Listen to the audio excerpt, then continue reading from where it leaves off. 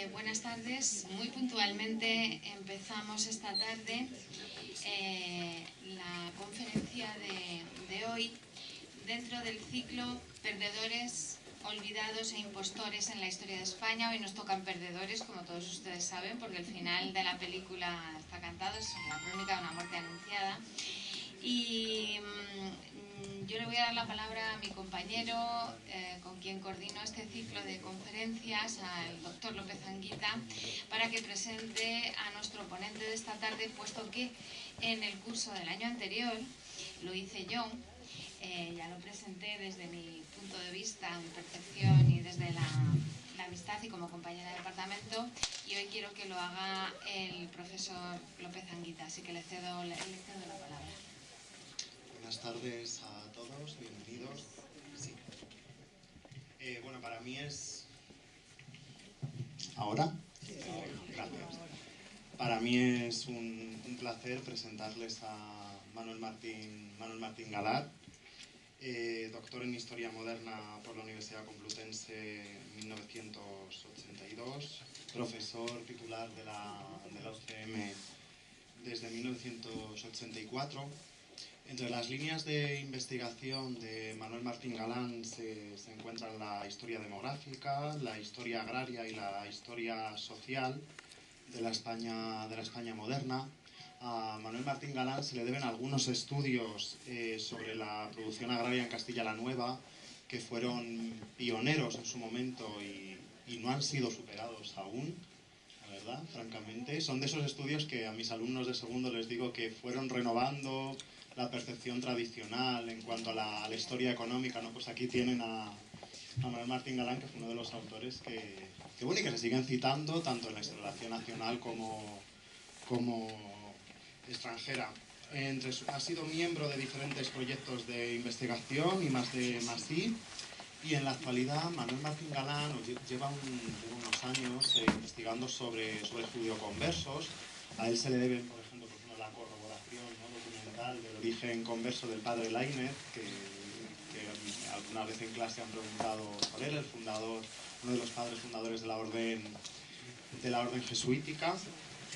Y bueno, además de un, de un magnífico investigador, eh, Manuel Martín Galán es, es muy buen docente, una, persona, pues bueno, que nos ha enseñado a muchos, a, a, muchas generaciones la historia moderna universal, que es, pues bueno, que es todo un reto, porque requiere una capacidad de, de exposición, de síntesis, también sin el recurso fácil a, bueno, esto prepárense ustedes por su cuenta, esto que bueno, que es de, de agradecer, también es de agradecer siempre la, la cordialidad, la amabilidad y el, y el respeto con el, que, con el que siempre ha tratado a los, a los jóvenes que íbamos llegando al, al, departamento, sobre todo respeto, con mucho respeto y mucha cordialidad, siempre, siempre ahí para lo que, para lo que nosotros cualquier cosa que, que necesitábamos. Una persona que sabe muchísimo de música también, de música, de, unos fondos iconográficos eh, magníficos.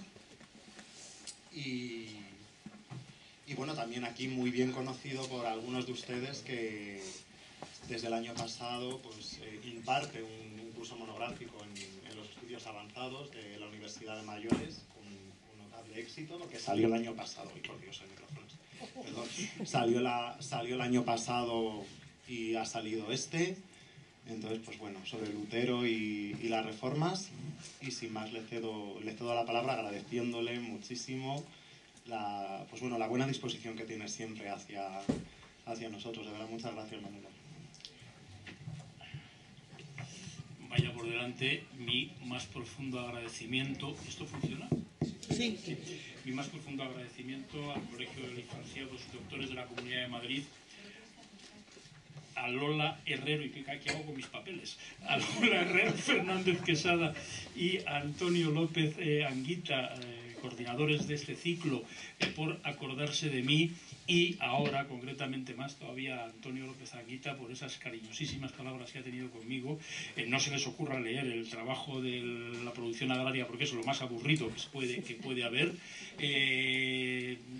hay miles de horas de trabajo ahí detrás, pero lamentablemente se traducen simplemente en unas gráficas. Y eh, por lo demás, sí quiero recordar que eh, sí, soy modernista. Eh, iba a decir que por la gracia de Dios, no, por la gracia de una persona que voy a citar aquí hoy con un cariño inmenso y que además en estos momentos está viviendo el tramo final de su vida de una forma muy amarga. Eh, y eh, por encima de todo estoy aquí hoy como atencino. Lola, cuando me planteó la conferencia, estábamos hablando de, jugamos un poco, pero si es Juan Bravos de Atienza, es de Segovia, bueno, Juan Bravos de Atienza y es de Segovia, y de ahí viene el título de la conferencia, Juan Bravo, mm, Atencino, el Atencino Juan Bravo, comunero segoviano.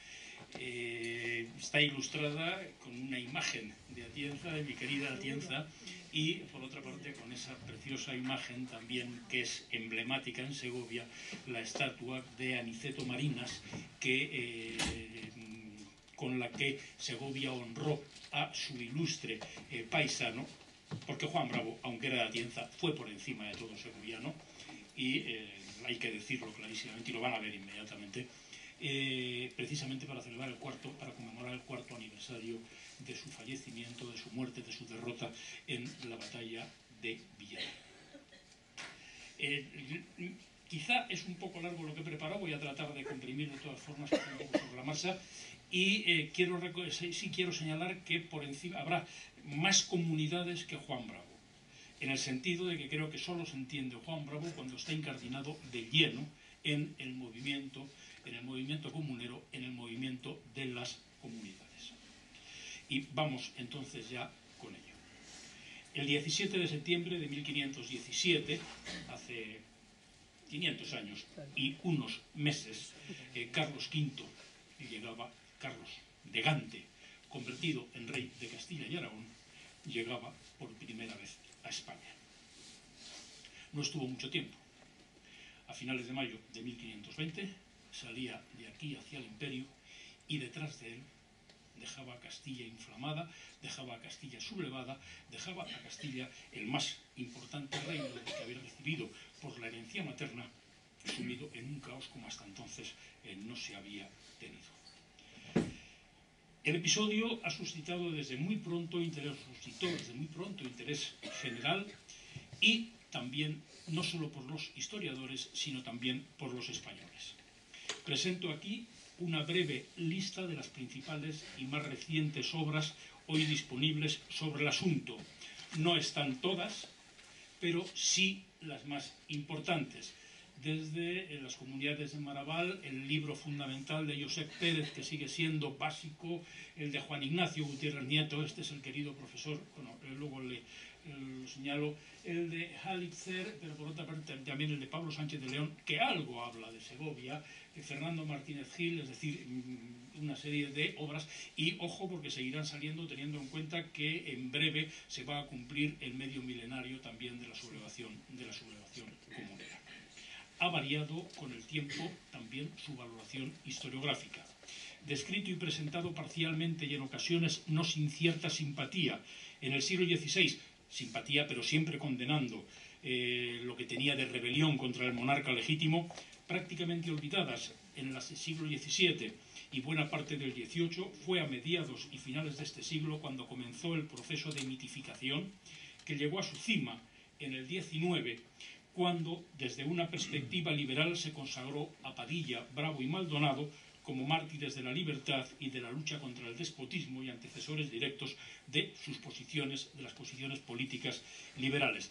Eh, mm, no hay prácticamente imágenes, no hay prácticamente referencias gráficas de eh, Padilla, Bravo, Maldonado, de las comunidades.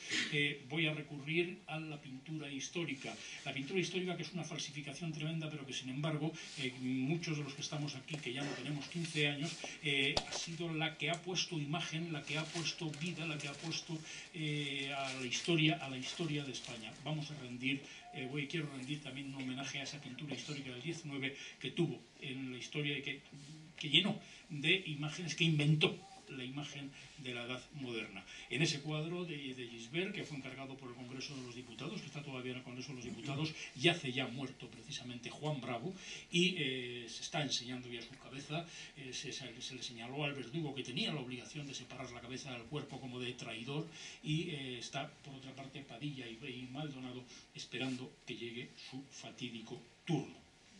Al final del siglo, sin embargo, al final del siglo XIX, la oleada conservadora Cánovas, Menéndez y Pelayo dio un giro que podemos resumir en el planteamiento del regeneracionista Ángel Ganivet, clamando contra los medievalistas comuneros con eh, alzados opuestos al innovador y europeísta Carlos V. Manuel Azaña, en 1930, por el contrario, profundizaba en la dominante visión decimonónica, presentando a las comunidades prácticamente como una revolución burguesa avant la lettre. Eh, tras la guerra civil, Gregorio Marañón hablaba nuevamente de los comuneros como hidalgos rurales y feudalizantes frente a la universalización de España representada por Carlos V. Su interpretación, sobre todo en cuanto que condenaba y denigraba la rebelión contra el poder, encajaba perfectamente con los planteamientos franquistas, pero inmediatamente se desmontó por parte de José Antonio Maraval, que recuperaba la visión de un movimiento urbano, revolucionario y moderno, ratificada y completada con aspectos sociales y económicos por Josep Pérez, en la que sigue siendo la obra clásica y fundamental sobre las comunidades, y por mi querido Juan Ignacio Gutiérrez Nieto, un homenaje a él que, digo, está viviendo los últimos eh, momentos de su vida de una forma muy amarga, pero que al que le quedaré eternamente agradecido porque fue el hombre que me transmitió el gusto y el entusiasmo por la historia moderna, eh, por Juan Ignacio Gutiérrez Nieto, que profundizaba en su dimensión antiseñorial. El americano Hallister, por su parte, desde la perspectiva de la sociología funcionalista, relativizaba los aspectos revolucionarios y afirmaba además algo que nadie había hecho, que en algunos aspectos eh, los comuneros terminaron eh, eh, viendo reconocidos algunos de sus objetivos. Y por último, Pablo Sánchez León, desde la perspectiva de la sociología histórica marxista, la calificaba de revuelta social antiabsolutista motivada por la lógica patrimonial de una monarquía y eh, un planteamiento antiimperial y anticentralista. Pero vayamos al principio. Eh, Carlos había nacido en Gante, Carlos había nacido en Gante en 1500 y casi, ah, bueno, tengo que añadir también, por supuesto, la bibliografía ya más específica sobre Juan Bravo, eh, señalando al padre Luis Fernández, que fue quien eh, más datos ha exhumado eh, sobre el comunero segoviano, los clásicos Danvila, Colmenares, Luis Felipe de Peñalosa, Carlos de Lecea, Pedro Álvarez de Frutos, la síntesis de Feliciano Barrio, hay mm, bastante donde mm, información.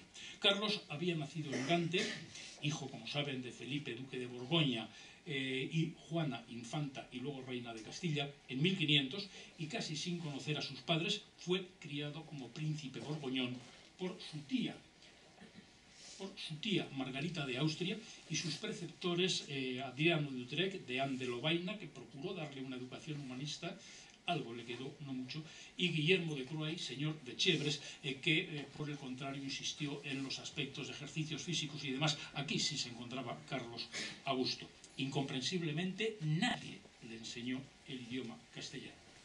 Duque de Borgoña desde 1506, efectivo, primero minoría, eh, llevada a cabo por Margarita de Austria y efectivo desde 1515, en 1516 fue heredor de su abuelo Fernando el Católico los reinos, junto con su madre, los reinos de Castilla y Aragón. Proclamado, es el testamento de Fernando el Católico, proclamado rey a toda prisa y sin intervención de las instituciones castellanas y aragonesas en Bruselas, el llamado golpe de Estado de Bruselas, si me oyera el profesor Carretero me negaría la condición de golpe de Estado, pero casi todo el mundo sigue a Josep Pérez al hablar de golpe de Estado de Bruselas, llegó a España, como he señalado, en septiembre de 1517. No fue bien recibido, fue recibido con desconfianza. Su presencia física, con una estatura de 1,60, un acusado prognatismo y una expresión como ausente, por muy bien moldeadas que tuviera las piernas, que al parecer las tenía muy bien moldeadas, no era la más atractiva, precisamente. Ya se ha dicho que no hablaba castellano y lo que era peor, no parecía interesado en integrar en su corte a los nuevos súbditos, alta nobleza, claro está, que le esperaban y comenzó, por el contrario, a repartir cargos castellanos entre sus cortesanos flamencos. Habrá un cargo al que luego eh, aludiré que fue particularmente sangrante. Chevres, en particular, era quien gobernaba el rey, al rey y al reino y sin llegar a entrevistarse con el anciano regente, gobernador, el cardenal Cisneros, que fallecería el 8 de noviembre, fue junto con su hermana Leonor a ver a su madre, encerrada desde 1509 en Tordesillas. Visita corta y protocolaria, y desprovista de signos afectuosos. Más largas fueron las entrevistas de Chevres con la reina. Aunque nada se sabe de ellas, se da por seguro que le arrancó la promesa de no entorpecer ni inmiscuirse en el reinado de su hijo. Fijada la corte en Valladolid, donde la vida cortesana transcurría entre justas y torneos, festejos y banquetes que escandalizaban y alarmaban a los castellanos, que eran quienes pagaban, se inauguraron finalmente las cortes a principios de 1518. Fueron unas cortes tensas en las que se aceptó a Carlos como rey, conjuntamente con su madre, reina propietaria, y ya se plantearon una serie de quejas por lo que se estaba viendo y exigencias políticas y económicas de asuntos que venían de atrás. Pero se terminó concediendo un sustancioso servicio económico muy superior a lo que había sido habitual en los últimos 20 años. Terminadas las Cortes, inició el viaje a la Corona de Aragón, comenzando por Zaragoza, las Cortes aragonesas plantearon más problemas. Había una tradición según la cual eh, las mujeres quedaban apartadas eh, de la corona. Eh, solo y después de muchísimo trabajo se aceptó a, a, su madre más que como transmisora de derechos que como reina legítima, pero finalmente también obtuvo un buen servicio económico y pasó a Barcelona. En Barcelona se repitió la historia, pero al final la fórmula que utilizaron las Cortes de Barcelona fue literalmente traducir al catalán las eh, conclusiones, la, eh, fórmula que habían aceptado las Cortes de Aragón. Ahí en Aragón fue donde se plantearon los grandes problemas y no en Cataluña. Ahora bien, para entonces había cambiado o cambió sustancialmente la situación política. El 12 de enero de 1519 fallecía el abuelo paterno de Carlos Maximiliano I de Habsburgo, emperador del pomposamente denominado Sacro Imperio Romano de la nación alemana. Como Habsburgo, como heredero de Maximiliano, Carlos tenía opciones a la elección, pero por una serie de circunstancias que no voy a detallar ahora, la elección se presentaba abierta, al menos entre dos candidatos, Francisco I de Francia, Carlos de Gante, y finalmente, y sobornando a los electores, ojo, Francisco también lo había hecho, Carlos lo sobornó, sobornó con letras de cambio pagaderas después de la elección sobre las rentas de Castilla. Fue proclamado rey de romanos y emperador electo en junio de 1519. En España le faltaba a Carlos ser aceptado como rey por las Cortes de Valencia, pero eso podía esperar urgía más preparar el viaje a Alemania y su coronación como rey de romanos. Pero se necesitaba más dinero. Y para obtener un nuevo servicio con el que afrontar los gastos, convocó las Cortes Castellanas en una ciudad inédita, alejada del corazón de Castilla y muy mal comunicada, Santiago de Compostela, mientras paralelamente se aparejaba una flota en el puerto de La Coruña, y exigió que los procuradores llevaran amplísimos poderes de las ciudades con la obvia finalidad de presionarles y vencer su presumible resistencia. Pero para entonces ya vivía Castilla un clima de agitación. Desde muchos púlpitos se clamaba contra el mal gobierno. Las ciudades estaban molestas por los impuestos, por la inminente marcha del rey, por las presiones de los corregidores, eh, son los representantes de los monarcas en las ciudades y una de las grandes quejas que había arrastrando de eh, la actitud de los corregidores en general, pero en este caso de las presiones de los corregidores para manipular la elección de los procuradores a Cortes. A ellos se añadía el ya citado nombramiento de flamencos para importantes cargos eclesiásticos y civiles y su insaciable rapacidad. Había un cargo que especialmente había resultado sangrante, la designación de un sobrino de Chevres, un mozalbete de apenas 20 años de edad y que ni siquiera había venido a España, como sucesor de Cisneros en el arzobispado de Toledo, nada menos que la sede primada, la de mayores rentas eh, de España y a la que aspiraba un hijo natural de Fernando el Católico, don Alonso de Aragón. Y ya en el verano de 1519, las quejas de Toledo habían empezado a subir de tono, envió emisarios al monarca que ni siquiera fueron recibidos y trató de orquestar una respuesta común de las ciudades en las Cortes.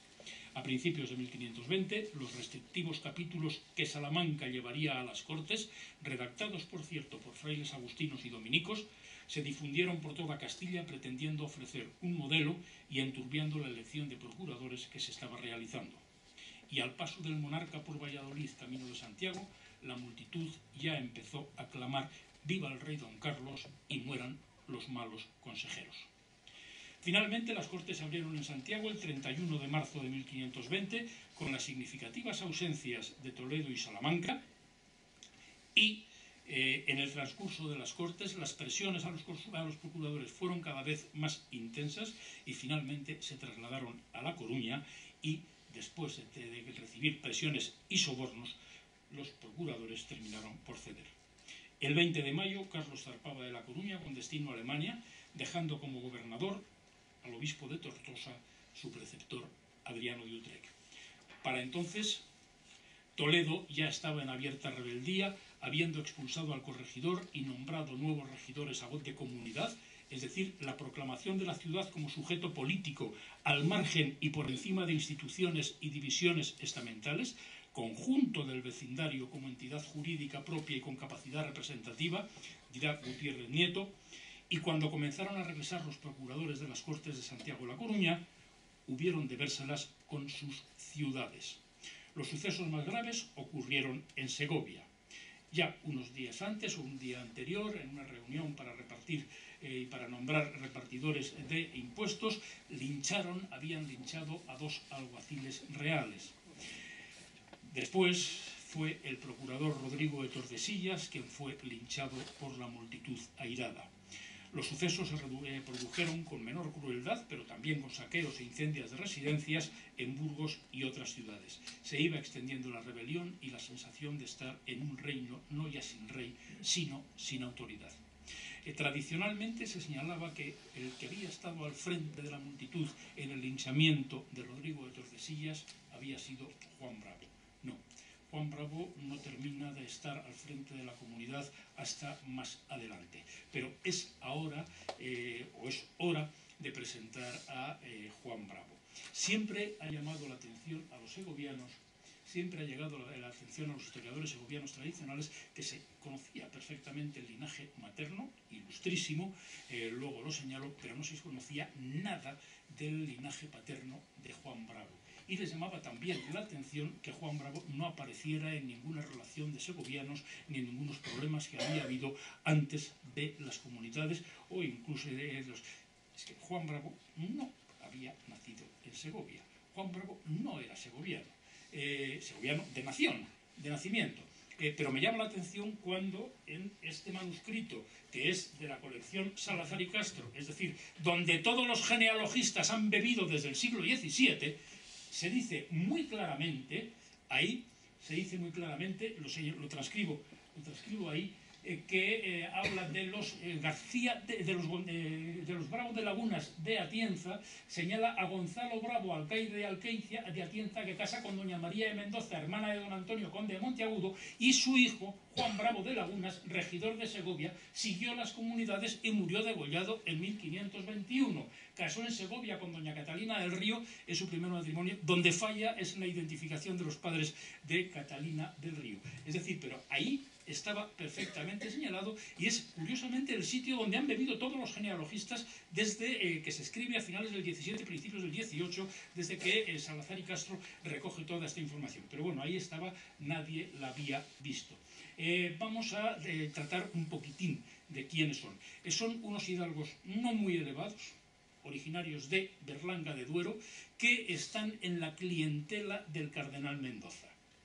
Eh, van a participar muy intensamente, sobre todo este García Bravo de Lagunas, que es el hermano mayor, y Gonzalo Bravo de Lagunas, que es el padre de nuestro comunero, van a participar sobre todo en la eh, toma porque fue una auténtica toma del, obispado de Sigüenza para eh, el cardenal Mendoza. Había sido ocupado por el, el arcediano Lope de Madrid, hubo que escalar el, el castillo y demás. Eh, poco después van a participar tanto García como Gonzalo en, la guerra de sucesión a, eh, la corona de Castilla eh, para Isabel la Católica, precisamente en las tropas de también que, levanta el cardenal Mendoza en el obispado de Sigüenza. Inmediatamente después van a saltar también por la misma fórmula que habían asaltado el castillo de Sigüenza, el castillo de Atienza, porque el alcaide en ese momento, López de Almazán, era un hombre partidario de la Beltraneja y en, precisamente como eh, premio a esta acción se les concede la alcaidía de Atienza. A García y a su muerte, curiosamente, no iban a venir sus herederos, es cierto que no tenía más que una hija, sino que a su muerte lo heredaría Gonzalo Bravo de Lagunas. Eh, lamentablemente, los dos hermanos van a ir nuevamente con el eh, cardenal Mendoza a la guerra de Granada, a la toma de Málaga, y en 1487 van a fallecer, van a fallecer los dos. Del cuerpo del mayor nada se sabe, a Gonzalo sí se rescató su cuerpo y junto con el hermano, su hermano mellizo, raro que hubiera eh, hermanos mellizos, mellizos que sobrevivieran eh, en esta época, alguno había, en este caso, que había sido, había llegado a ser obispo de Ciudad Rodrigo, de Calahorra y después de Coria, yacen en él un sepulcro, un magnífico sepulcro renacentista eh, que ahora mismo está en la colegiata de Berlanga de Duero. Estuvo anteriormente en otro sitio, en la eh, colegiata, de, perdón, en la iglesia de Santa María. Gonzalo Bravo de Lagunas hace un matrimonio magnífico. Es, está íntimamente relacionado con la clientela, con la buena relación que mantiene con el cardenal Mendoza, porque se casa con María de Mendoza y Zúñiga, undécima hija de los condes de Monteagudo, señores de Almazán, que son de la familia Mendoza. Y de ahí nacerá, quizá hacia 1483, eh, Juan Bravo de Lagunas. ¿Nació en Atienza? No se tiene la absoluta certeza, pero teniendo en cuenta que el padre por aquel momento estaba en Atienza, vivía en Atienza, eh, Luis Fernández Martín, el jesuita que ha puesto en claro y que ha dado todos esta serie de datos, concluye claramente. Eh, por todo lo cual es moralmente cierto que Juan Bravo el Comunero es originario de Atienza en la provincia de Guadalajara. Ahora bien, vamos a ser también claros. Juan Bravo sale de Atienza cuando tiene aproximadamente seis años y jamás volvió por allí. Es decir, no voy a jugar al patrioterismo ni al pueblerinismo fácil. Eh, en aquella época el ser de un determinado pueblo marcaba y se tenía siempre perdón, el origen como punto de referencia, pero Juan Bravo ya nunca. Por cierto, Atienza no lo ha olvidado y naturalmente ahí tienen la placa en que recuerda la casa donde nació eh, y lo señala eh, como celoso defensor del bien público y de la libertad del reino. Es una frase que dice precisamente que son las últimas palabras que se conocen, las penúltimas palabras que se conocen de la vida de Juan Bravo, pero luego hablaremos. Si nació en Atienza, que probablemente nació en Atienza, desde luego no nació en esa casa. Eh, podían haber leído también, podían haber leído también a Laina Serrano, identifica como la casa de Gonzalo Bravo de Lagunas, ese solar eh, que, este, lo que pasa claro, que en el solar no se puede poner, no se puede poner ninguna placa y esa casa sí perteneció a la familia, esa casa sí perteneció, la casa anterior sí perteneció a la familia, pero efectivamente habría que identificarlo más con este solar que está en lo que en la pieza llamamos la cerca. Y eh, ahí habría estado, por cierto, eh, cuando se midieron todas las casas, se, mantenía en el siglo XVIII, era la tercera casa más grande que había en Atienza en, en ese momento. Lógicamente han pasado varios, han pasado varios siglos. Si se mantuvieron, era en efecto. Eh, quiero señalar también otra cuestión y otra curiosidad. Eh, Juan Bravo eh, era contrapariente de Juan Padilla de Juan de Padilla. Eh, es una cuestión de Mendozas, eh, Pedro González Mendoza, conde de Monteagudo, su segundo hijo, casa con la primera hija, con María de Mendoza, hija del eh, gran Tendilla, y la cuarta hija casa con Padilla. Y en este caso es su undécima hija la que es la madre de Juan Bravo. Juan Bravo, la madre de Juan Bravo sería cuñada de la hermana de eh, María Pacheco, de, eh, Juan, de la mujer de Juan de Padilla. Juan Bravo sería sobrino de ella y por lo tanto sobrino de la hermana, es decir, contraparientes. Teniendo en cuenta las relaciones, la intensidad de las relaciones de, familia de, este, de esta época, hubo también fidelidad mm, de parientes en la relación, en la intensa relación que mantienen Padilla y Bravo durante las comunidades. Mm, ni se descarta ni se afirma, pero ahí queda esta relación simplemente eh, en el aire. Luego tiene otra relación también muy curiosa. Eh, pero hay que señalar otra cosa.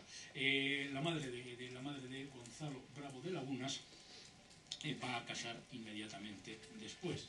Muere su esposo, van a colocar al hijo quizá como paje del príncipe don Juan, en cualquier caso sí tiene un ambiente y desde 1499 es continuo de la Casa Real. Los continuos de la Casa Real, militares unos, civiles otros, son oficiales que están en la corte o que están continua o u ocasionalmente en la corte cuando son llamados para ejercer determinados servicios.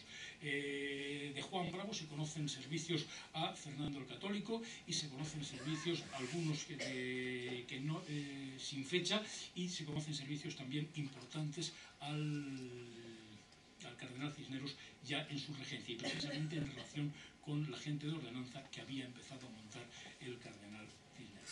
Pero eh, su madre va a contraer matrimonio posteriormente con un Antonio García Sarmiento vestido de Burgos y se va a marchar a Burgos. Juan Bravo, por lo tanto, ya no va allá. Va a tener dos hijos. La relación de Juan Bravo con sus dos hermanos fue buena mientras Juan Bravo fue bueno.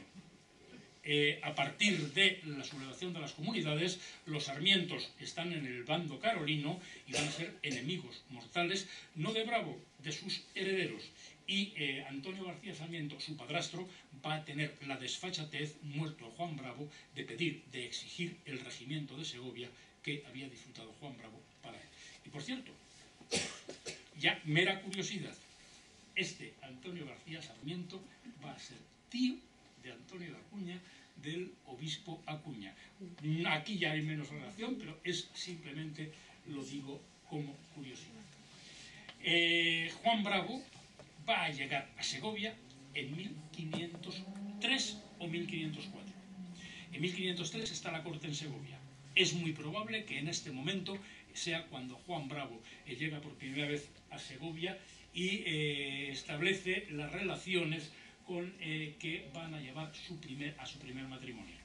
Curioso, Juan Bravo, la familia de los Bravo de Laguna, en Atienza habían tenido mucha relación, primero con los judíos, después con los conversos en Segovia, Juan Bravo va a casar con Catalina del Río, hija de Diego del Río, un rico converso eh, bien acaudalado en Segovia. Va a tener tres hijos.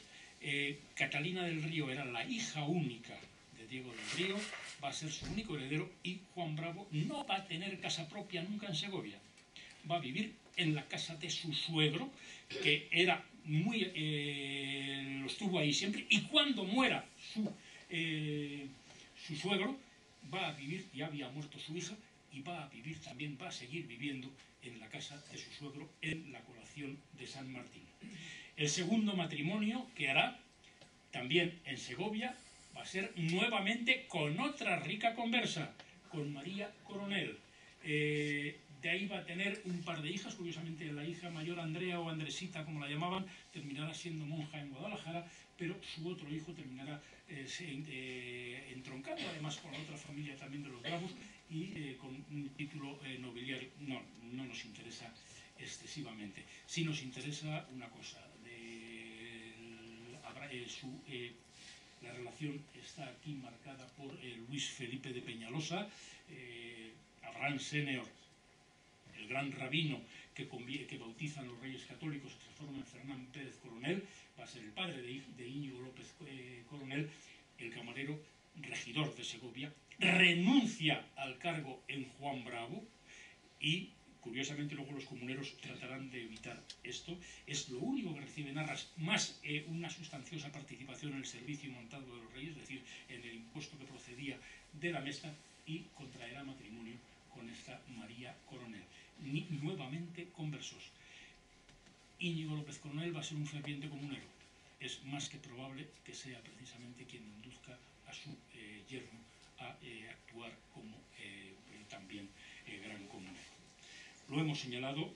Como no tenía Diego del Río más hijo que doña Catalina, decía un testigo en un juicio posterior, les tenía mucha afición y les daba siempre mucho de lo que había menester y se aprovechaban, vivían de su, de su hacienda.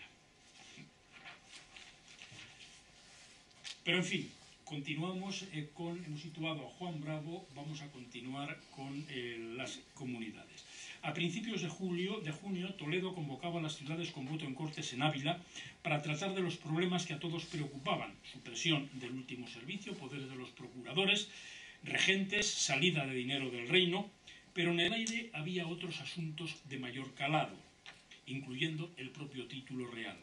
Es de comprender la preocupación del regente, del gobernador, que anunció concesiones fiscales. También preocupaba el asunto en las propias ciudades, paso que se proponían dar era más que ilegal, casi revolucionario, y de hecho solo cinco militaron en la primera formación de la Santa Junta en Ávila, entre ellas precisamente también Segovia. Pero desde las instituciones reales se cometieron graves errores.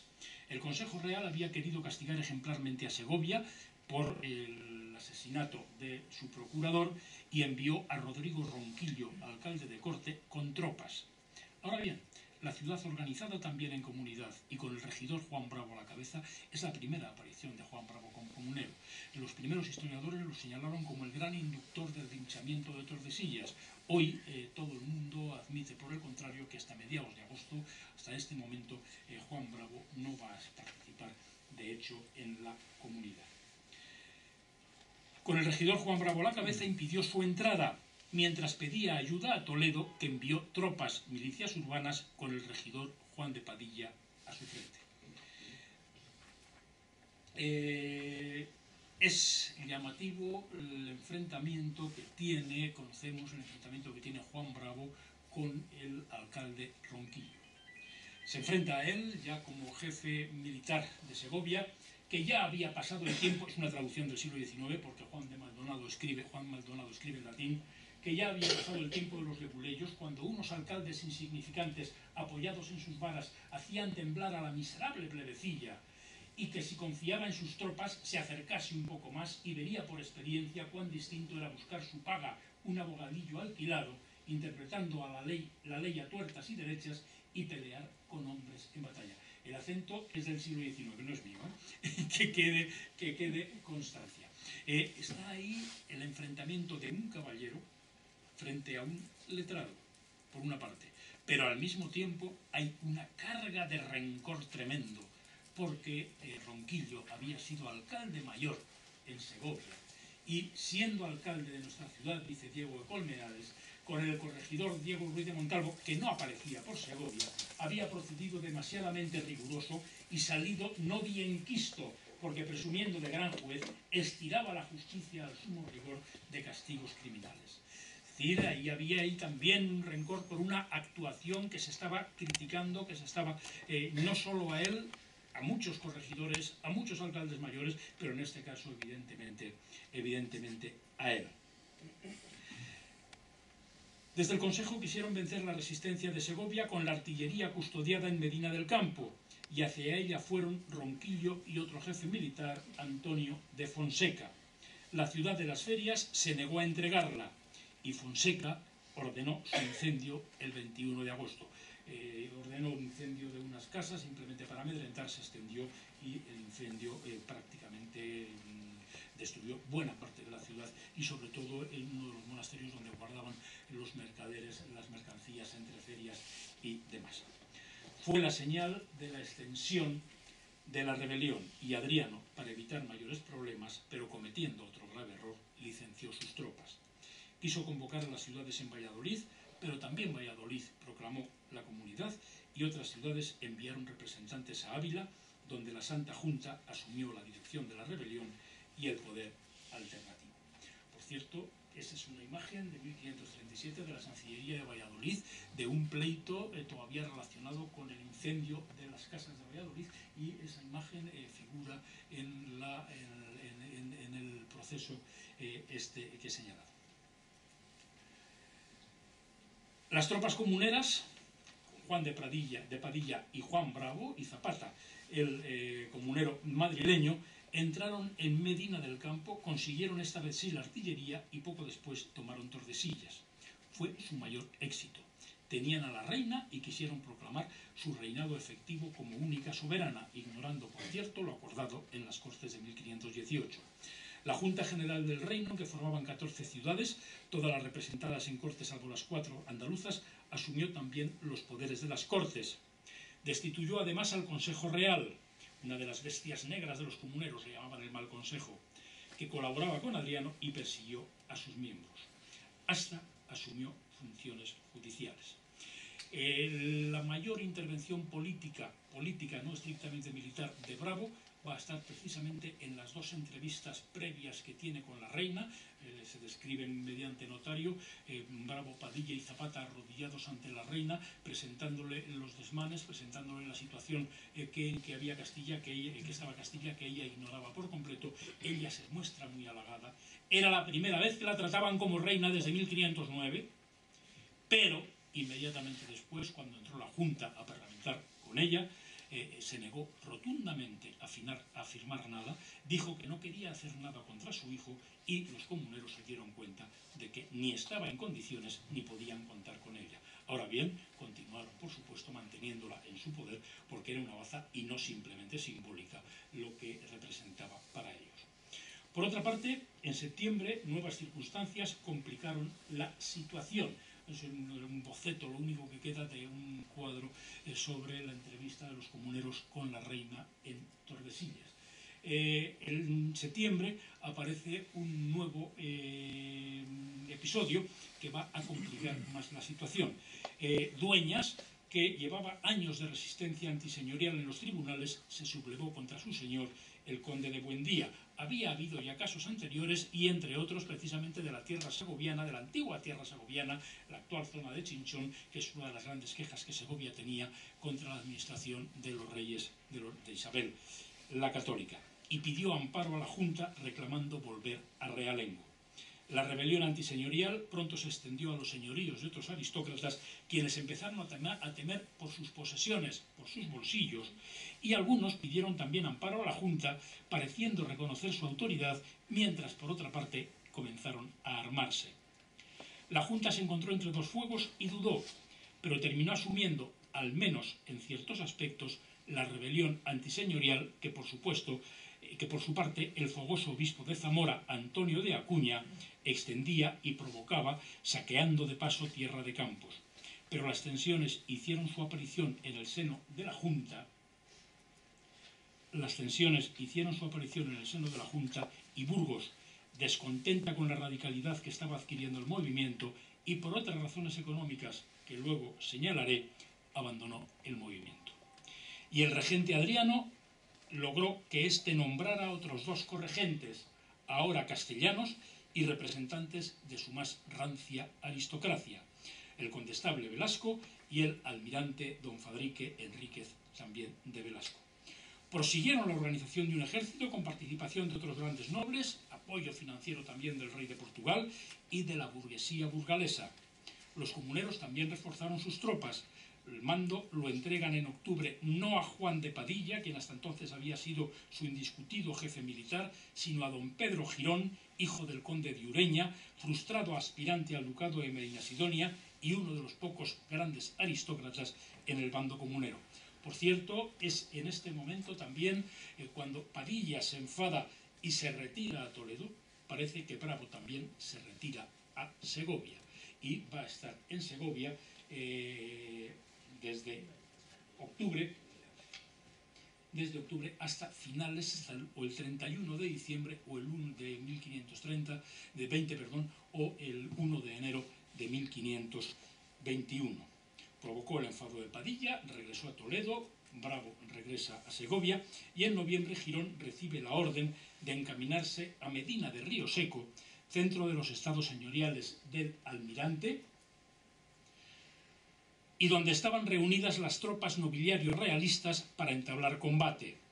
Acampó en Villa Brágima, muy cerca de Medina, hubo todavía dos de negociación, al almirante, por muy corregente que fuera, no le hacía feliz la idea de un enfrentamiento militar en sus territorios, pero su fracaso anunciaba la inminente batalla. Pero inopinadamente, don Pedro Girón abandonó con sus tropas Villabrágima y se dirigió a Villalpando, dominio señorial del condestable, que tomó sin apenas resistencia. La torpeza o traición de Girón liberó el camino hacia Tordesillas, donde las tropas realistas entraron el 5 de diciembre y prendieron a 13 miembros de la Junta, arrebatándole la baza de la reina. La desmoralización comenzó a extenderse entre los comuneros y don Pedro Girón, entre acusaciones de traición, abandonó el movimiento. Pudo haber sido el final, pero los grandes no parecían muy interesados en acabar. Los restos de la Junta, abandonada no obstante por Soria y Guadalajara, se reorganizaron en Valladolid. Fueron momentos de dudas en la dirección y deserciones en las tropas. La comunidad de Valladolid presionó, regresaron Juan de Padilla y Bravo con refuerzos madrileños, fueron recibidos como auténticos mesías y Padilla en, en, pugna con el otro gran noble toledano, don Pedro Laso de la Vega, hermano del poeta Garcilaso, y Acuña redobló su ímpetu antiseñorial y el saqueo de fortalezas y templos por donde pasaba, dicho sea de paso. Fracasó un intento de ataque a Burgos, donde estaban los restos del Consejo Real, del mal Consejo, pero triunfaron en febrero de 1521 en la ocupación de Torrelobatón, cortando la comunicación entre Medina de Río Seco y Tordesillas. Seguían, no obstante, las conversaciones entre los dos bandos, se llegó a firmar una tregua, casi siempre Bravo era partidario de prolongar la tregua, de seguir negociando, se llegó a firmar una tregua a principios de marzo y los comuneros enviaron una representación a negociar directamente con el emperador. Carlos no quiso escuchar y sin ningún, miramiento ordenó encarcelar al juntero que llegó siguiéndole a Worms, a la dieta en la que aparece Lutero. Terminó la tregua, pero también llegó la deserción de don Pedro Laso de la Vega, que pasó a engrosar las filas realistas. La entrada de Acuña en Alcalá de Henares, sin embargo, y luego a finales de marzo en Toledo, reactivó los ánimos. Fue incluso elegido por el cabildo arzobispo de la sede primada. No se le considera un arzobispo válido, pero al menos servía para controlar las rentas, las pingües rentas del arzobispado de Toledo y actuó por tierras toledanas donde se vivieron episodios tan sumamente dramáticos como el de Mora, donde las tropas procarolinas del prior de San Juan, en respuesta a las acciones de Acuña por la región, provocaron la muerte del gran, de gran parte del vecindario, sobre todo ancianos, mujeres y niños que se habían refugiado en la iglesia. Naturalmente, el número nunca se sabrá, eh, se pueden añadir todos los ceros, 200, 2000, se barajan muchos que estaban eh, refugiados, ancianos, mujeres y niños que estaban refugiados en la iglesia y había por allí pólvora y se mandó quemar. En el norte, el bando antinobiliario realista se mostró dispuesto, ahora sí, a dar la batalla. Cuando el ejército comunero salió de Torrelobatón en dirección a Toro, fue interceptado por las tropas nobiliarios realistas a la altura de Villalar. No es raro que se haga terminar en este momento la rebelión comunera. Quedaba, sin embargo, todavía Toledo en pie, con la resistencia de doña María Pacheco, la viuda de Padilla, al frente del pueblo toledano.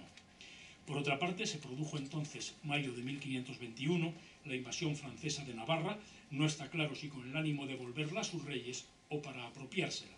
Hubo que repeler la agresión. Algunos comuneros aprovecharon la ocasión para congraciarse con el monarca, pero en cualquier caso, la necesidad de hacer frente a los navarros franceses dio un respiro a los toledanos. La resistencia de doña María Pacheco, sin embargo, terminó finalmente con su huida a Portugal en marzo de 1522 y Carlos volvió a España a julio. Hasta aquí el relato sucinto de los acontecimientos. Quiero ahora hacer algunas reflexiones sobre ellos con cautela y no sin antes advertir que las comunidades constituyeron un fenómeno muy complejo que en cada región, en cada ciudad, adoptó fisonomías particulares y aún contradictorias. Los estudios locales que han proliferado en los últimos años han puesto de manifiesto la heterogeneidad de los sectores implicados, los distintos motivos concretos y, alineaciones, y distintas alineaciones de fuerzas y, por supuesto, los intereses particulares totalmente encontrados. Y en algunos casos, evolución muy confusa de los acontecimientos. Para empezar, la rebelión comunera no fue provocada únicamente por problemas coyunturales. Fue en realidad el último y violento episodio de una crisis política que se venía manifestando en Castilla desde la muerte de Isabel la Católica. Entre 1504 y 1517, Castilla fue un hervidero de facciones y tensiones políticas, partidarios de Juana, partidarios de Felipe, partidarios de Fernando el Católico, partidarios del infante don Fernando, partidarios de Carlos, y estaban en tensión. Pugnas constantes entre monarquía y alta nobleza, que solo el carisma y la fuerza del monarca, la fuerza del monarca aragonés y del cardenal Cisneros habían logrado a duras penas contener. Una llamativa manifestación de esta compleja situación era la singularidad, titularidad, la singular titularidad del real, con la reina legítima encerrada y fuera del juego político. El propio Carlos fue consciente de que su posición no era del todo segura, por lo que una de las cosas que inmediatamente, unos meses después de llegar a España, hizo fue enviar a su hermano Fernando a Bruselas, consciente de que quitaba un competidor, un molestísimo competidor del medio.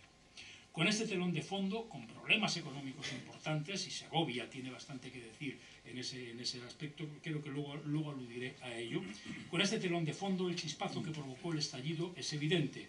Fue una mezcla de nacionalismo político, o protonacionalismo político, o xenofobia, la otra cara de la moneda, sensación de abandono por un rey con el que no se identificaban sus súbditos y que solo parecía interesado en la corona imperial, y en los dineros españoles, castellanos, americanos y en cuanto pudo aragoneses, para transferirlos a Flandes o donde él necesitara. Y esto, como ha demostrado el profesor Carretero Zamora, desde que puso el pie en Castilla, no desde las Cortes de Santiago, La Coruña. El servicio votado aquí, además, no llegó a cobrarse. Añádase el excesivo protagonismo de Guillermo de Croa y los flamencos y su obscena codicia reflejada en dichos y coplillas, Alonso de Santa Cruz dice, como sus ministros se viesen tan favorecidos, fueron muy absolutos en el mandar y muy disolutos en el robar. Y en la coplilla era muy famosa, doblón de a vos, de a dos, norabuena estedes, porque con vos no topó Chevres, Guillermo, Guillermo de Cruay. Insisto por lo demás en los aspectos antifiscales que no son precisamente revolucionarios en sí mismos, que acompañaron siempre al movimiento comunero. Pero no fue un movimiento antimonárquico la queja era sobre todo contra lo que se percibía como mal gobierno. Desde este punto de vista responde a los clásicos estallidos puntuales de motines del antiguo régimen. Y aunque hubo algunas apelaciones a las comunas italianas, en realidad buscaron la aprobación de la reina y la vuelta inmediata del rey. Por otra parte, trataron siempre de institucionalizar su programa, dándole una cobertura jurídica. Tenían intenciones de que los cambios que propugnaban fueran permanentes fue esencialmente un movimiento urbano, naturalmente de las 18 ciudades con voto en Cortes en primer lugar, aunque no todas se sumaran finalmente al movimiento. Además, las ciudades también tenían motivos previos de queja por varias razones. Por la institución de los corregidores desde 1480, no tanto por la institución, la extensión de los corregidores, sino la actitud de eh, descuido y de opresión que habían tenido los corregidores. Los corregidores eran representantes reales, pero tenían también una dimensión judicial y podían percibir una buena parte de las multas y penas de cámara que imponían. Naturalmente, esto dio lugar a todo tipo de abusos y Rodrigo Ronquillo algo había hecho en Segovia al respecto. Por otra parte, hay eh, algunos asuntos también relacionados con la gente de ordenanza, milicia urbana que pretendía organizar el cardenal Cisneros, sufragada y mantenida por las ciudades. Se suspendió, pero van a ofrecer a los comuneros unos antecedentes y al mismo tiempo también a veces depósitos de armas. Por cierto, Juan Bravo eh, actuó en relación con esto como enviado de eh, Cisneros a la zona de La Rioja y su carta, la carta que escribió fue bastante importante muy, muy citada porque decía, por aquí quiere la gente más dineros que libertades. Pero no se limitó a las ciudades con voto en cortes. y el movimiento, al movimiento se sumaron muchas otras, sobre todo en la meseta norte y en el centro de Castilla. Y no solo se limitó a las ciudades, presentando una importante dimensión rural que a la postre sería decisiva y a la que me referiré más tarde. El movimiento, sin embargo, fracasó en Andalucía, con la excepción a medias de Jaén, Baeza y Úbeda. Tiende esto a explicarse, además de por razones de excentricidad geográfica y peculiaridades económico-sociales, la pujanza del comercio con América, por ración vigilante y represora entre los primeros conatos de determinadas autoridades, Marqués de Mondejar, el corregidor de Córdoba, y la expresión nobiliaria de la mitad, en la mitad occidental de Pondes, Ponces y Guzmanes, eternos rivales, pero unidos para reprimir los primeros intentos de comuneros. Sociológicamente, el panorama de los participantes en el movimiento no deja de ser variado.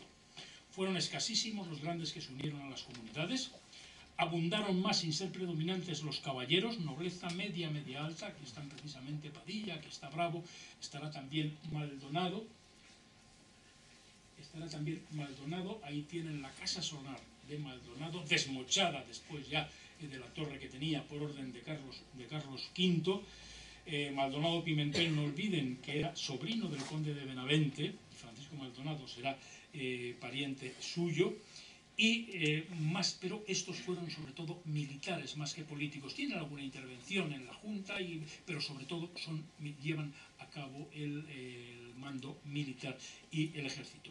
Hubo también caballeros más molestos, quién sabe si buscando un ansiado ascenso en la escala nobiliaria, mucho más notable fue la participación del patriciado y las burguesías urbanas. Lo digo en plural para subrayar la ausencia de unidad de clase y en Segovia fue bastante determinante. Y ahí está López Coronel, Íñigo López Coronel, metido de hoz y de coz en la comunidad. Regidores, letrados, profesores liberales, en definitiva. Hubo también propietarios agrarios, algunos rentistas, miembros rectores de los gremios, y la masa urbana, más o menos organizada, más o menos dirigida, siempre exaltada. Constituyó el grueso de las tropas comuneras, también del bando realista, pero también desempeñó, un papel decisivo en ciudades como Toledo, Valladolid, Segovia, son solo tres ejemplos, y que en más de una ocasión forzaron la radicalización de sus dirigentes, abortando la posibilidad de una negociación con las autoridades carolinas.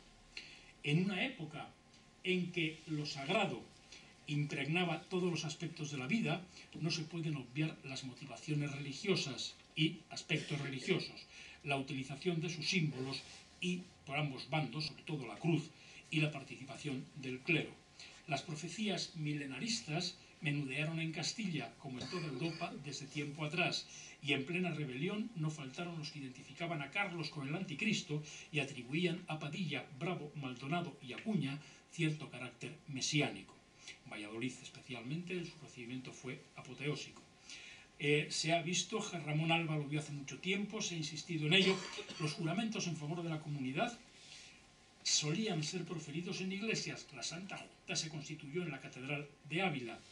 En Toledo, además, se hizo el Día del Corpus y hasta hubo una cofradía que agrupó a los sublevados en Murcia, la cofradía de San José, creada en 1521 para asociarse. Los púlpitos constituían el medio más eficaz para difundir ideas y sobre todo para inflamar emociones, auténtico fervor, mm, eh, factor movilizador de la masa. En aquella época la predicación estuvo siempre al servicio de la propaganda política y más en tiempos de crisis, aquí de los dos bandos, pero mucho más del comunero, siendo particularmente eficaz en la preparación del caldo de cultivo clamando con ejemplos bíblicos contra los flamencos y contra el rey consentidor de, de sus tropelías y en los primeros momentos de la revuelta. Fueron los protagonistas, sobre todo, miembros del clero regular, especialmente de las órdenes mendicantes, muchas veces llamados por autoridades civiles de uno y otro signo para movilizar al pueblo en su favor. Y aquí hubo también auténticos intelectuales y gente vinculada a la universidad. Frailes fueron, recuerdo, quienes redactaron los capítulos de Salamanca en la preparación de las Cortes del 18, que tanto influyeron caldeando los ánimos en los prolegómenos de aquella asamblea. Con respecto al clero secular, hay noticias abundantes pero inconcretas de la participación de curas párrocos y beneficiados. No es posible hoy por hoy establecer un cuadro completo del bajo clero secular comunero, aunque se sabe que lo hubo y que no fue escaso. No me extrañaría que el breve aparecieran estudios eh, a este respecto. Los cabildos catedralicios, en cambio y en general, no se unieron corporativamente a la causa anticarolina, si bien hubo en casi todas las sedes episcopales individualidades destacadas, muchas veces dignidades y de procedencia social no baja precisamente, que apoyaron con entusiasmo a los sublevados y aún ocuparon algunos puestos relevantes en el movimiento. Entre el alto clero solo podemos señalar la figura singular y controvertida del obispo de Zamora, Antonio de Acuña, clérigo más medieval que moderno, más identificado con la espada y la cota de mallas que con la mitra y el báculo, y que tenía ya una larga y accidentada trayectoria diplomática y militar, primero al servicio de Felipe I, después al servicio de Fernando el Católico, que participó en la conquista de Navarra, de incuestionado valor personal, en ocasiones auténtico verso libre en la rebelión comunera y al que muchas veces se ha acusado de estar guiado tanto más por ambiciones personales, deseo de llegar al arzobispado de Toledo, como por convicciones políticas. Levantó a sus expensas, con sus rentas episcopales, una tropa entre sus feligreses en la que formaban 200 o 300 sacerdotes y desempeñó un papel decisivo y feroz en la extensión de la sublevación antiseñorial por tierra de campos y más tarde en Toledo, donde como vimos fue llegado, eh, se llegó a elegirle irregularmente eh, arzobispo. Hecho prisionero cuando trataba de huir a Francia y trasladado a Simancas, su relevante condición eclesiástica le salvó momentáneamente del ajusticiamiento un intento de fuga, dando muerte al alcaide de la fortaleza, bravo todavía a sus 67 años, fue el motivo final para ordenar su ejecución en 1526 y le originó un problema con Clemente VII a Carlos V. Por cierto, el alcalde Rodrigo Ronquillo, el mismo que habíamos visto en Segovia, el mismo que eh, actuó en nombre de Fernando el Católico para impedir la toma de posesión de Acuña en los primeros momentos en algunas fortalezas de su obispado de Zamora, fue el juez que sustanció la causa y ordenó la ejecución del último comunero señalo esa flecha, en el castillo de Simancas es el cubo del obispo y en concreto el lugar de donde estuvo prisionero el obispo Acuña fue precisamente el que ahora es el despacho del director del archivo de Simancas. Los comuneros proyectaron una importante reforma política. Y aunque se inició con acciones indudablemente ilegales y hasta revolucionarias, asunción de la autoridad del reino, convocatoria de cortes, administración de justicia, quisieron institucionalizarla inmediatamente. Propusieron una ley perpetua que se ha querido ver como una especie de protoconstitución. Quizá mejor sería equipararla a las leyes del reino, consideradas superiores del tipo de las partidas. El principal asunto que domina el programa comunero desde el punto de vista político-institucional es la relación rey-reino. Pero se trascendía la situación concreta de tensión y con frecuencia se miraba atrás, teniendo en su punto de mira el, el reinado de los reyes católicos. Son sus referencias políticas inmediatas, aunque no siempre amadas, e incluso más atrás, ya referencias políticas muy idealizadas. Y se rechazaba la deriva autoritaria preabsolutista que había tomado la monarquía. Por eso se apeló al pactismo medieval y se quiso revitalizarlo para limitar el poder del monarca, que debería estar sujeto también a las leyes del reino. Para ello, la institución esencial sería el órgano representativo, las Cortes, pero unas Cortes por estructura y por funcionamiento liberadas de la tutela de los monarcas. Como señala el profesor Carretero Zamora, buen amigo mío, poquito cascarrabias, pero muy buen amigo mío, aunque el proceso comenzó antes, durante el reinado de los reyes católicos culminó, por voluntad de los reyes, un doble proceso. Por una parte, la identificación de las cortes como representación del reino y por otra parte, el falseamiento total de la representación del reino en esas cortes. Porque los reyes católicos fueron los primeros que empezaron a presionar mediante los corregidores para que fueran determinados procuradores empezaron a repartir beneficios entre ellos, empezaron a repartir sobornos entre ellos y de esta forma eh, llegan, eh, culminan, mm, identifican las cortes con el reino, pero falsean por completo la relación rey-reino y la eh, corrupción llegaba más lejos, eh, porque hasta incluso los propios municipios, eh, entre los propios, en las propias ciudades, había regidores que se repartían los beneficios que habían conseguido los procuradores por haberles votado, por haberles elegido y demás. Los comuneros no ampliaron la base representativa, seguirían siendo las 18 ciudades, ni fijaron con exactitud su cometido ni funciones. Importante laguna, se da por supuesto que pensaban que serían siendo como las mismas funciones que hasta entonces. Lo que sí quisieron es una importantísima novedad, fue una institución autónoma del reino frente al poder de la corona, que ya no convocaría sus reuniones, sino que serían automáticas y, y trienales y que no controlarían la presidencia. La presidencia de las Cortes de Castilla se llevaba a cabo o recaía en el presidente del Consejo y aquí ahora tendrían presidente autónomo. Además, por otra parte, los procuradores serían elegidos por la ciudad y además con eh, un procedimiento indirecto, mayor participación en definitiva del pueblo y recibirían poderes concretos y vinculantes, mm. mandato imperativo, y su salario, solo el necesario para su subsistencia, sería abonado por la ciudad, prohibiéndose mercedes regias y otras corruptas triquiñuelas muy asentadas ya en la práctica. Qué actual suena todo esto, ¿verdad? Se pretendía reformar también el mal consejo, el Consejo Real, aumentando su representatividad, los mm, consejeros de nombramiento regio pasarían a serlos por designación indirecta y, por otra parte, sí se respetaba la Chancillería. En el ámbito municipal mostraron su rechazo a la figura del corregidor. Estoy alargando ya demasiado, queda un poquito todavía, no mucho. En el ámbito municipal mostraron su rechazo a la figura del corregidor, había muchas quejas por las actitudes por la actitud de los corregidores en la época, desde la época de los reyes católicos, pero era una figura esencial en el control territorial del reino por parte del monarca.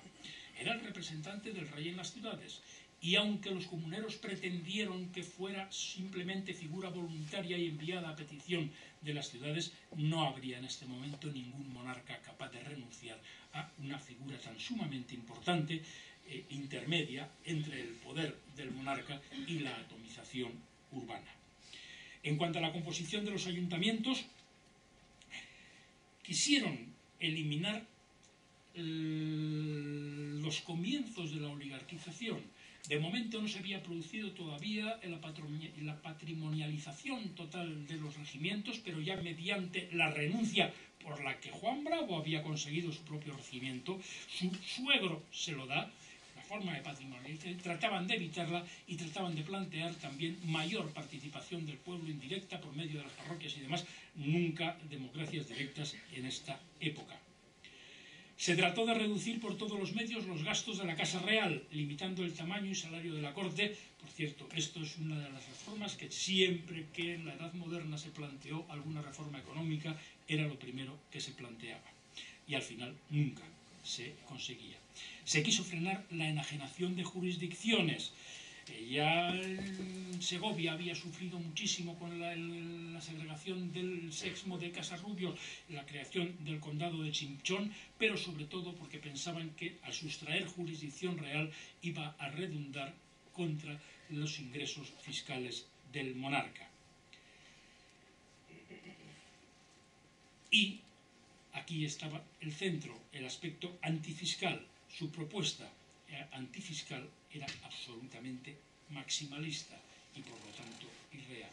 No entraban a fondo en los, privilegios fiscales estamentales, solo los retocaban ligeramente, quizá porque muchos de ellos eran nobles, pero pretendían reducir tomando como referencia 1494 y congelar la cuantía del principal impuesto castellano, la alcabala, que grababa ventas por lo tanto vinculada a los precios en una época de inflación impresionante. Eh, aquí sí que eran eh, totalmente, estaban totalmente eh, fuera de la realidad en sus pretensiones. Aunque los reyes católicos habían basado buena parte de su política económica en la exportación de lana merina de primerísima calidad a Flandes, en los últimos años de Isabel y sobre todo durante la regencia de Fernando se tendió a potenciar la industria textil castellana, desarrollándose algunos núcleos industriales con Cuenca y sobre todo Segovia a la cabeza. Segovia sufrió mucho. Los cambios que introdujeron los reyes en las ordenanzas, eh, pasando eh, obligando prácticamente a producir paños de, primera calidad, cuando la tradición de Segovia eran paños bastos, hubo una serie de desajustes y ahí precisamente está parte de la virulencia que tienen las comunidades en los problemas relacionados con todos los trabajadores de la industria textil, de la poderosísima industria textil que luego va a terminar cuajando nuevamente en Segovia. Los comuneros, al, al llegar Carlos, Carlos es flamenco, Carlos piensa en los intereses flamencos y vuelve a potenciar la exportación de lanas. Los comuneros quisieron rectificar de nuevo, siguiendo los principios mercantilistas y protegiendo la elaboración de paños sobre la exportación de lana. Pero de esta forma se lesionaban los intereses de la burguesía exportadora, en buena parte afincada en Burgos los motivos de la defección de esta ciudad, comenzando el debilitamiento de la Junta, no se basaron únicamente en su mayor moderación política, sino en la contradicción entre sus intereses exportadores y los manufactureros de Segovia y Cuenca, por ejemplo. Vayamos por último con la dimensión rural de las comunidades y sus implicaciones. En este aspecto lo más destacable es, sin duda, la formidable rebelión antiseñorial que acompañó al levantamiento comunero el ánimo antiseñorial estuvo muy extendido en la Europa de la transición de la Edad Media a la moderna. Siguiendo las pautas político-culturales renacentistas, se aspiraba a alcanzar la libertad política, es decir, la dependencia directa y exclusiva del monarca, sin la interposición de poderes señoriales, casi siempre en manos de la alta nobleza. Debo hacer, no obstante, una observación. Movimiento antiseñorial no tiene por qué ser movimiento puede ser profundamente oligárquico de las oligarquías locales que lo que quieren es controlar más el poder municipal y los bienes de propios y demás. Ante la rebelión antiseñorial, la actitud de los comuneros no fue unánime ni homogénea a lo largo del tiempo. Pasó, según describe Gutiérrez Nieto, de la ambigüedad al fomento de las rebeliones, cuando perdieron Tordesillas, tarea a la que se entregó con ahínco el obispo Acuña y de esta a las contradicciones, todo relacionado con la actitud que la Junta mantenía hacia los grandes, a quienes como mínimo miraba con desconfianza, y con el hecho de que también entre los comuneros había algunos señores de, vasallos. Aunque los grandes fueron los primeros en sentirse agraviados por el monarca, no fueron ellos, como sabemos, en las ciudades quienes protagonizaron la ruptura. Los grandes habían adoptado en general una actitud de calculada ambigüedad, y a la postre fueron muy pocos los que se comprometieron con los comuneros. La rebelión de las ciudades fue en principio vista con simpatía por los grandes, más aún porque también vieron en ella una oportunidad, de debilitar la posición del monarca y en consecuencia fortalecer la suya propia. Los comuneros lo sabían e incluso Valladolid lo presentó descarnadamente a Adriano de y a los eh, grandes corregentes a finales de enero de 1521 Históricamente, la alta nobleza había sido quien desencadenó las crisis de desobediencia y deslealtad al monarca, mientras que fueron las ciudades quienes lo defendieron y además lo sostuvieron económicamente. Todo lo contrario de lo que había hecho la nobleza. También ahora los grandes estaban frente a las ciudades, pero nadando entre dos aguas. Lo expresó muy acertadamente Manuel Azaña en 1530 a los grandes y caballeros les importaba que el César venciese, que no venciese demasiado y que no venciese enseguida. Se podría añadir otra observación más, y que les debiera la victoria a ellos. Fue lo que ocurrió precisamente a raíz del levantamiento antiseñorial.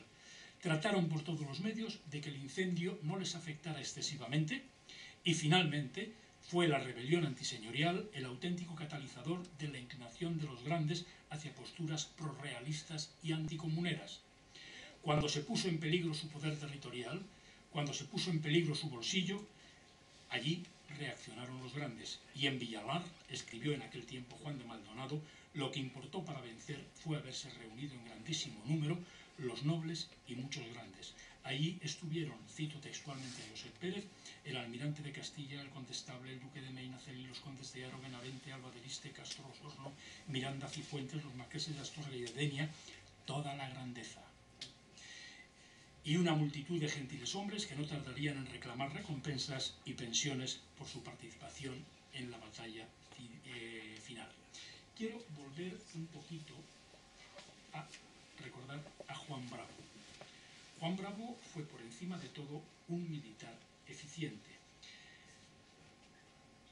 Curiosamente, siguió siendo continuo real hasta el 18 de abril de 1521, cuando definitivamente lo sacan de las listas de continuo. Después de ejecutado, el propio conde de Benavente eh, lamentó profundamente su muerte porque lo apreciaba profundamente. Y el talante fue el típico caballero, un hombre que exigió bienes en la capitulación de boda de su segunda esposa. Él tenía muy pocos bienes. Había recibido algunos bienes de, sus, eh, de su padre, sobre todo situados en algunas zonas entre Atienza, Sigüenza y demás, entre otras las salinas de la Olmeda, pero los había vendido todas, por cierto, a un converso seguntino relacionado con la familia materna del padre Laínez. Era un hombre muy orgulloso de su linaje. Se hacía valer como caballero, afable, generoso, derrochador, liberal, como decían entonces, desinteresado, desprendido, vendió casi todos sus bienes raíces, gasta con los demás, gasta con los suyos, se embarca en mejoras en su casa que muchos discutían, llegó a hacer una alberca para tener agua corriente, que por cierto fue una fuente de humedades en su casa, y eh, cuando hacen, cuando hacen los inventarios de... Lo que pasa es que lo hacen, eh, Juan Bravo es ejecutado en abril, lo hacen ya en otoño, los bienes de su casa son bastante modestos, hay muy poca plata, la había vendido ya, pero eh, entre otras cosas había un arca grande llena de libros latinos y en romance, eran suyos o los había recibido de la herencia del obispo. El hecho de que sean eh, libros latinos me hace pensar que probablemente venían de la herencia del obispo. Había otros 20 volúmenes de libros que no se especifica de qué son en su casa. Un retablo con la imagen de Nuestra Señora, un libro de horas muy usado, evidentemente era religioso como en la época tenían que ser todos los nobles, muchas armas y pertrechos de guerra, muebles por lo general corrientes, cofres, arcas la cocina llamativamente vacía de eh, cacharros, animales domésticos, algunos, dos muy curiosos, una mona y un papagayo. Es curioso, estamos en 1520, no ha pasado mucho del descubrimiento de América, ya el gusto por lo exótico, por lo que eh, señala de distinción la posesión está totalmente extendido. Dos esclavos, uno le acompañó en Villalar. Fue además apresado y entregado a su hermano. Y por último, me centro ya en Villalar. No fue una gran hazaña, no fue una gran batalla, no figurará nunca en los anales militares. Un día de lluvia, en medio de un lodazal, las tropas comuneras son sorprendidas por el ejército el ejército eh, realista. El ejército realista, infinitamente mejor armado, infinitamente más poderoso, las tropas comuneras salieron en desbandada. Los jefes comuneros no van a hacer frente a los militares realistas. Solo Juan de Padilla eh, es eh, herido, es, lucha con ellos. Bravo, Maldonado, Zapata y algunos otros, la batalla tiene lugar, la batalla o lo que fuera, el encontronazo eh, en las afueras de Villalar, fueron eh, apresados en Villalar, en el pueblo, porque habían salido detrás de sus, eh, de sus hombres para tratar de evitar la desbandada. 100 muertos por parte de los comuneros, 400 heridos, más de 1.000 prisioneros, ni una sola baja en el campo de realistas. Inmediatamente vino el apresamiento de los jefes, fueron trasladados a eh, Villalba y al día siguiente fue cuando los alcaldes Ronquillo, perdón, los alcaldes Cornejo, Salmerón y Alcalá dictaron sentencia. Es aquí cuando las últimas palabras y los últimos actos de Juan Bravo, un tanto románticos, eh, vuelven a aparecer Primero, en la macabra procesión hacia el cadalso, eh, el alguacil iba eh, pregonando que eran, iban a ser ejecutados por traidores al rey. Mientes tú, dicen que contestó Juan Bravo precisamente, y aun quien te lo manda decir, traidores no, más celosos del bien público sí, y defensores de la libertad del pueblo. Entonces el alcalde le dio con la vara en el pecho y Padilla le replicó, señor Juan Bravo, ayer era día de pelear como caballeros, hoy es día de morir como cristianos. Juan Bravo no quiso ver morir a Padilla, es el otro detalle romántico que se suele señalar, pidió ser ejecutado primero. Entonces ahí el cadáver de Juan Bravo es el primero que aparece, por ahí. Carlos V regresó a España en septiembre de 1522. Ya la represión de las comunidades había, había empezado al día siguiente de Villalar, pero continuó hasta muchos meses después. También llegaron los perdones y la necesaria reorganización institucional del reino.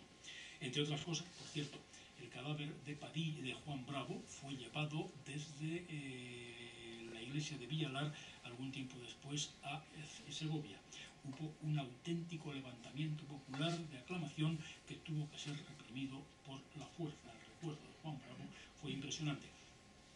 se iba, iba a ser enterrado en la iglesia de Santa Cruz, no se sabe dónde está enterrado los de Muñoveros, el pueblo donde había nacido su primera esposa, dicen que está en la iglesia de su pueblo. El argumento es que hay una tumba que dice C, que tiene en las inscripciones la inscripción CJV. CJB, perdón. Comunero Juan Bravo, ahí queda eso.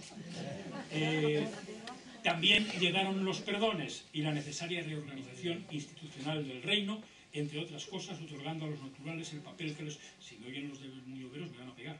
Y los, de, y los de mi pueblo, que se han hermanado con muy oberos por el nacimiento y la tumba de, eh, de Juan Bravo.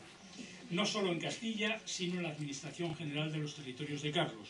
Y desde luego, Carlos, aunque no sin desconfianza, no olvidó quienes asentaron definitivamente la corona de Castilla en sus sienes y aunque políticamente procuró apoyarse solo en algunos con grandes concretos, individualmente mantuvo enteramente su colectiva posición preeminente, sus privilegios e incluso por sus permanentes necesidades financieras incrementó la extensión del régimen señorial.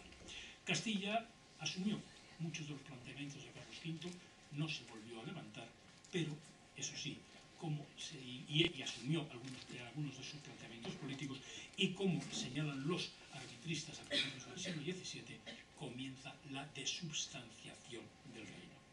Pero la memoria de las comunidades no desapareció.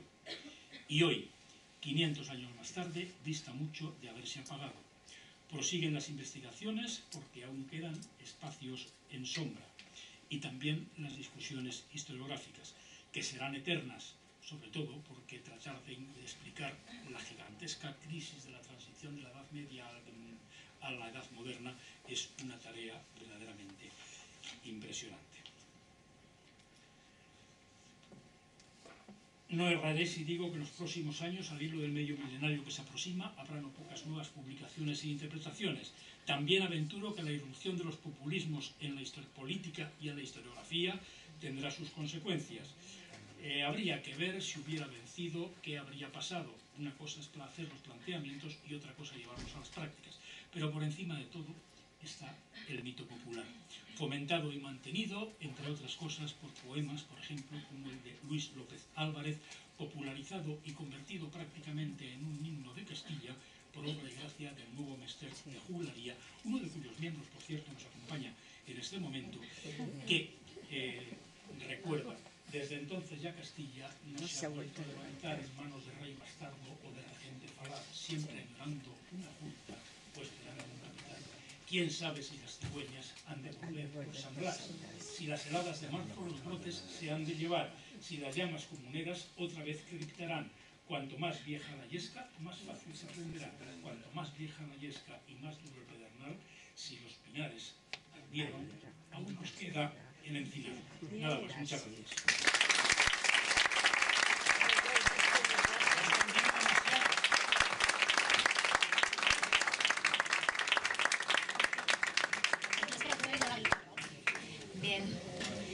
Muchísimas gracias, te has extendido, sí, no te vamos a decir que no, pero aquí estábamos todos pendientes. Gracias por, como siempre, otra de tus magníficas lecciones magistrales. Ya lo sabes. Así que ahora, como es habitual aquí, conoces la casa y conoces a los alumnos y a los colegiados. Si alguien tiene alguna pregunta o quiere intervenir, pues, pues adelante.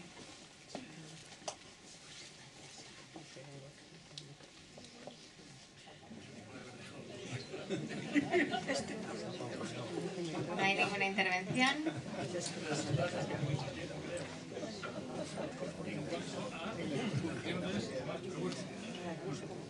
Pues muchísimas gracias por su atención. Yo quería una, yo tenía una duda, pero bueno, Tiene si una no, duda, si tiene queréis una hacerlo, duda. hago más ahora, o sea que no... No, no, venga, la duda no falta. No, yo, eh, a mí me ha, me ha surgido la pregunta. Sí, Claro, o sea, sí, tiene ¿cómo es la hijos de vida los de dos, estos? tiene Pero hijos de claro, los dos matrimonios. eh, tienen un doble estigma, porque son hijos de traidor y al mismo tiempo son descendientes de conversos, es decir, que tienen una sangre judía, judeoconversa. Pero ahí estuvieron sus parientes del río eclesiásticos, por una parte recuperando y un pleito tremendo, es de donde proceden, es de donde proceden la mayor parte de las noticias que se conocen personales de Juan Bravo, si no hay nada. Son las que sacó a relucir precisamente el padre, el padre Luis eh, Fernández Martín, el hombre que estaba en Simancas y que tenía cada cinco minutos que salir porque tenía la necesidad imperiosa de fumar. Naturalmente murió de un enfisema pulmonar. Pero bueno, eh, no sé si de enfisema pulmonar, pero eh, era, un hombre entrañable y precisamente del pleito de los del río para recuperar los bienes de la dote de la madre se conocen en las eh, este. y la, mm, su mujer el coronel vuelve a contraer matrimonio pero también pelea por los bienes y sobre todo por la- el privilegio de la renta del servicio y montazgo que era es que era buena parte de la, de la renta de la, mes, de la mesta, en definitiva. Y, eh, y ahí aparecen sus noticias. Uno de los hijos de Juan Bravo, eh, señalado, termina siendo marqués de, termina, es decir, termina eh, consiguiendo un título, un título aristocrático. De la misma forma que un hermano de Juan Bravo, licenciado Bravo, que aparece por Valladolid, está en Baza, pero que aparece por Valladolid en una situación muy ambigua, muy ambigua, eh, y cuando le tratan de empapelar, dice que había ido a tratar de convencer a su hermano de que desapartara de la comunidad, que también por ahí luego habrá eh, descendencia aristocrática. Adelante. Quería preguntar si la revuelta esta que hubo en Levante de las Germanías y tal tuvo algo, alguna conexión con... No excesivamente, es curioso, precisamente se señala, se señala eh, que eh, de la falta de integración todavía entre los reinos, hay alguna, de la falta de integración en los reinos, en los reinos peninsulares, eh, como paralelamente, sin embargo, no se establecen grandes relaciones, podrían haber puesto en apuros muy importantes a, Carlos V. La sublevación de las Germanías es totalmente distinta, tiene un contenido social muy, muy importante, es antiseñorial, es y eh, ahí lleva también el signo, el signo de su derrota inmediata, inmediata final. Además tuvo una dimensión también antimorisca. Los moriscos por lo general eran vasallos eh, de señorío y eh, los veían como grandes enemigos y demás. Mm, hubo algún no, no llegan a establecer la total conexión. No, es lo que dice que si llega a haber una conexión hubiera habido experiencia. Habría sido muy distinta la cosa. Porque además, jurídicamente, Carlos V todavía no era rey de Valencia. No había jurado. no había. Eh, eh, estaba, eh, de hecho, jura cuando vuelve ya en 1500, en 1522 y después. Evidentemente, el hecho de que no fuera jurídicamente monarca, sin embargo, ya había, había sido aceptado por Castilla, por Aragón, por Cataluña, evidentemente había sido aceptado. Pero bueno.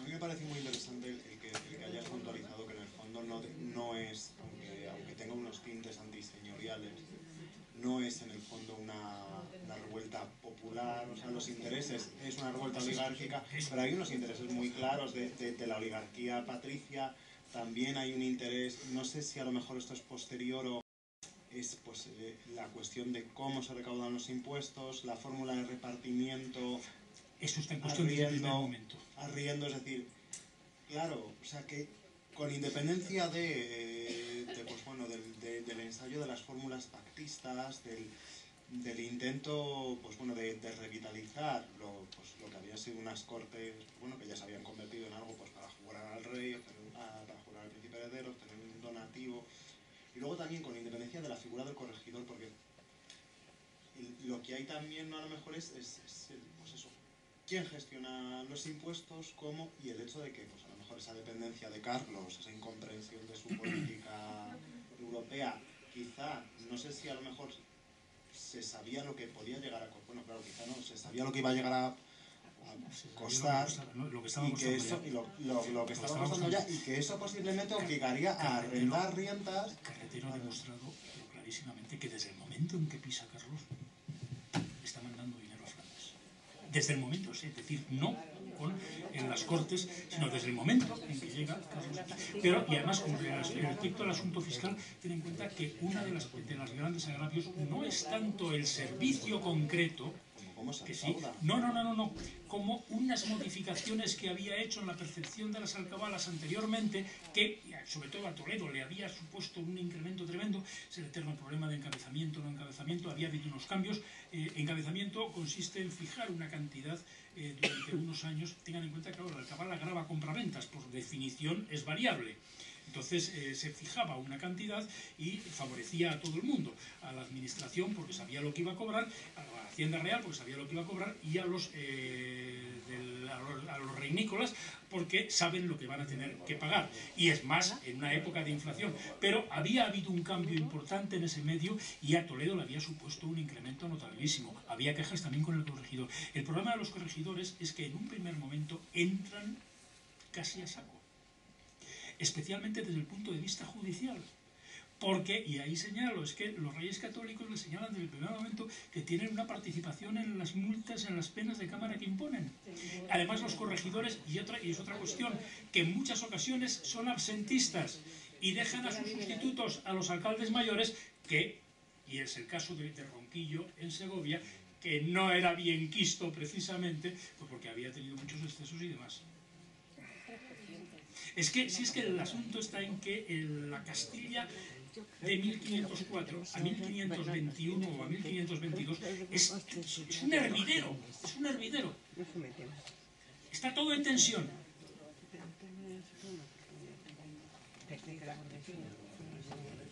¿Alguna intervención más?